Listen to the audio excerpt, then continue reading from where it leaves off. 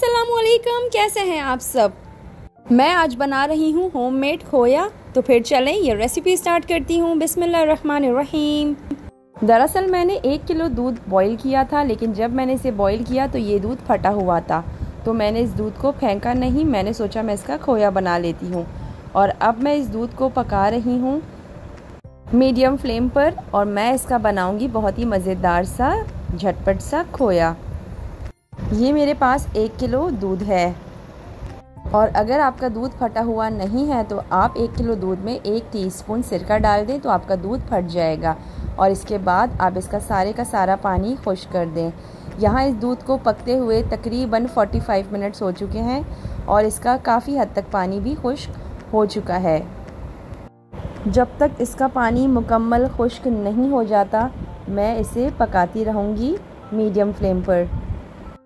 इस खोए को बना के आप लोग फ्रीज़र में फ्रीज़ कर दें और जब भी आप लोगों को कुछ मीठा बनाना हो, आप इस खोए को निकालें और मज़ेदार मीठा तैयार करें।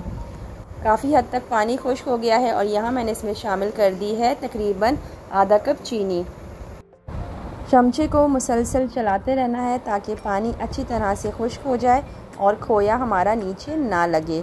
अब ये देखिए माशाल्लाह से बहुत ही खूबसूरत सा लाइट गोल्डन सा कलर आ रहा है। खोए में।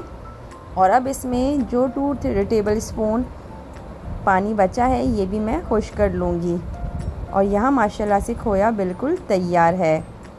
और अब मैं इसे सर्विंग डिश में निकाल रही हूँ। आप लोग चाहें तो आप लोग इस खोए को गरम गरम सर्व कर सकते हैं। इसके ऊपर कटे हुए ड्राई फ्रूट्स डाल दें और इसे सर्व कर दें। इस तरह से आप लोग खोए की मिठाई भी बना सकते हैं। दूसरा ऑप्शन ये है कि इसे आप लोग ठंडा कर लें और ठंडा करने के बाद फ्रीज़ कर दें। और यहाँ ये ठंडा हो चुका है काफ़ी हद तक और जब ये ठंडा हो जाएगा तो ये खुद ही अलग अलग हो जाएगा। अगर ये छोटी सी वीडियो अच्छी लगी हो तो प्लीज़ वीडियो को लाइक कर दीजिएगा। कमेंट बॉक्स में लाजमी बताइएगा कि ये वीडियो आप लोगों को कैसी लगी। अगर मेरे channel voice of food and fun पर नए हैं आप लोग तो आप लोगों से रिक्वेस्ट है कि मेरे चैनल को सब्सक्राइब कर लें।